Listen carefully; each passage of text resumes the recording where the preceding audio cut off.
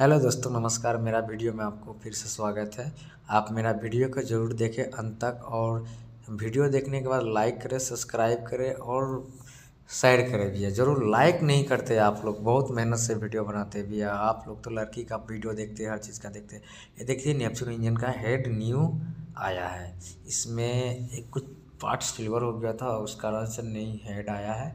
इसमें काम चल रहा है अभी। इसमें क्या एयर मार रहे हवा मारकर, डीजल से धोकर पानी मारकर और एयर से इसको हवा से साफ़ करना पड़ता है। वो डस्ट कहीं नहीं रह पाए। अगर डस्ट रहेगा तो बहुत कारण से इसमें हाई लुब्रिकेट होता है।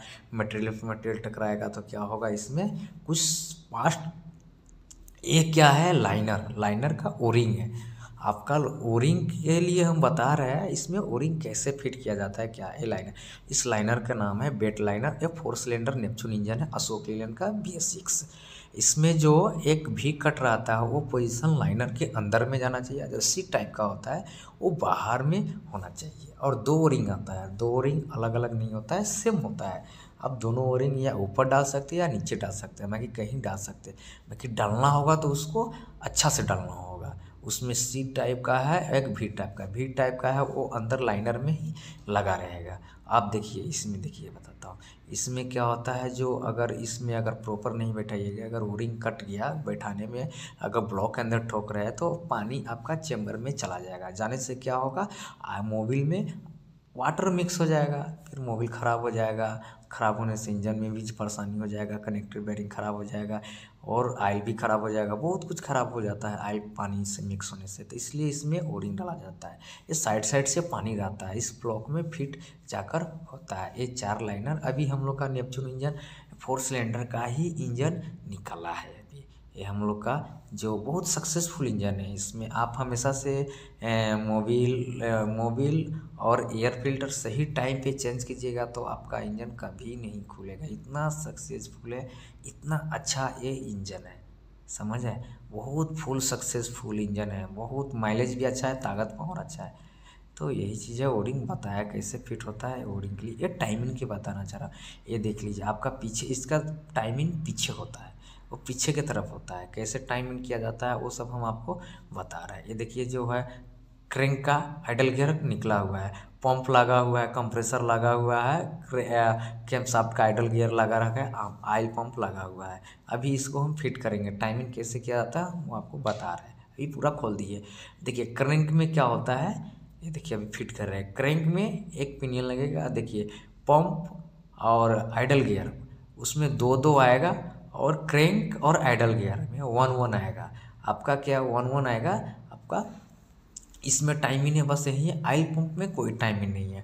और आपका क्रैंक का जो आइडल गियर है, उसमें भी कोई टाइमिंग नहीं है। टाइमिंग कहाँ है?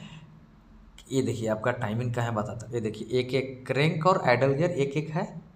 क्रैंक और आइडल गियर एक एक है। परफेक्ट ये देखिए पंप और आइडल गियर टू टू है। है ना?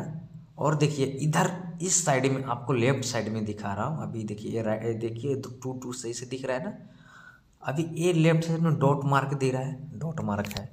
और इस डॉट मार्क का दो दिया हुआ है पंप का बॉडी में। देखिए थोड़ा थोड़ा दिखता होगा, देखिएगा। थोड़ा थोड़ा दिखेगा।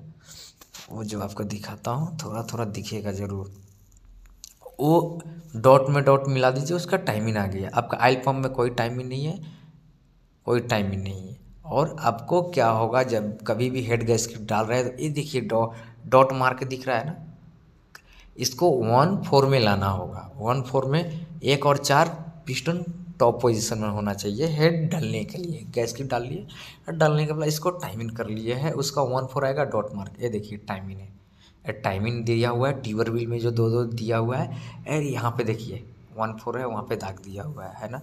और इस टाइमिंग को करना ज़रूरी है, इसलिए कैम बैठाने के लिए। कैम पोजिशन जो देखिए, ये देखिए टाइमिंग में ये जो देखिए, जो कट भाग है, पतला वाला, वो टॉप ऊपर में रहना चाहिए और जो प्लेन रहेगा, वो नीचे में रहेगा।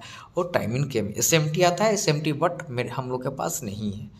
और ये चीज़ हम लोग का कैम फिट कर रहा है। कैम फिट करने के बाद क्या है, देखिए, इसमें कैम कैम फिट कीजिएगा तो इसमें दो बूस बैरिंग रहता है। क्रैंक बूस रहता है। जैसे क्रैंक बुश में लगता है, ऐसे इसमें क्रैंक में लगा रहता है, जैसे इसमें कैम में भी लगा रहता है, बैरिंग लिखा रहता है। इस बैरिंग में जो जितना चापा है, उसमें आगे से आगे से one, two, three, four, five तक रहता है। ये देखिए, दिखा रहा हूँ आपको। नंबर दिखेगा इसमें। जो है, पहुँच कर दिखा रहा हूँ। देखिए, इसमें नंबर दिखेगा। नंबर दिखाता हूँ बारीकी बारीकी से दिखाएँगे। नंबर दिखा रहा हूँ। मिनट, आप मोबाइल करीब कीजिएगा, दिखाता हूँ, रुक जाइए। आपको ये आ गया है टाइमिंग में करने के बाद क्या हो देखिए अब देखिए ये वाला पोजीशन देखिए, ये देखिए, फाइव नंबर है, लास्ट में आता है, ये देखिए, चार नंबर है है, और ये तीन नंबर, और दो नंबर, और एक नंबर आगे से। करने के बाद आपको अब टॉर्क खींच रहा हूँ। टॉर्क होना चाहिए आपको न्यूट्रल मीटर में 120 और तीन बार नब्बे नब्बे मारना होगा इंग्लोर टॉर्क। इसमें बहुत इंग्लर टॉर्क को हम अभी वीडियो नहीं दिखा रहा हूँ, बहुत बड़ा हो जा रहा है वीडियो दिखाने में। अभी 120 हम लोग न्यूट्रल मीटर मारा फिर इंग्लर टॉर्क मारेंगे और सब मारेंगे, सब वीडियो में।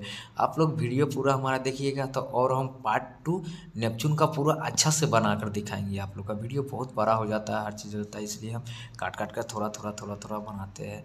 और हम पार्ट टू जब वीडियो बनाएँगे तो पूरा क्लीन हम अच्छा आपको हम बताएँगे। नेपचून में और सीखने के लिए आपको अच्छा मिलेगा। तो हम अभी टॉर्क मार रहे हैं। देखिए, टॉर्क होना चाहिए प्रॉपर, बहुत इसमें टॉर्क हैवी देता है देना पड़ता है। या तो एक सौ बीस हम लोग मार रहे हैं अभी। इंग्लर टॉर्क तीन बार नब्बे नब्बे मारेंगे ना तो उसमें क्या होता है, खींचने का पसीना आ जाता है। तो बहुत इंजन हैवी भी है, बहुत पावर है इस इंजन में। इतना पावर है, मत पूछो। बहुत ज़्यादा इसमें क्या होता है डबल टायर होता है डबल क्राउन तो हम लोग का B S six Avtar model है इसमें। तो ये हम लोग का आप कस्टमर के लिए यही बोलेंगे बहुत फ़ायदा चीज़ें देखिए एयर फ़िल्टर डस्ट से बचाए। अगर डस्ट चला जाएगा इंजन में तो इंजन में दिक्कत परेशानी हो जाएगा। डस्ट के कारण ही ये इंजन फेल हुआ था। तो एयर फ़िल्टर हमेशा से चौक हो जा रहा है तो उसको चेंज करो। साफ़ मत करो। हवा में जब चौक हो गया तो उसको डायरेक्टली चेंज करो। डस्ट वो खींच लेगा टर्बो से होकर इंटरकूलर इंटरकूलर से। हेड में चला जाएगा तो क्या होगा? रिंग जॉब आ सकता है। बैक कंप्रेसर में वीडियो अच्छा लगे तो लाइक करें सब्सक्राइब करें, ज़रूर लाइक करें।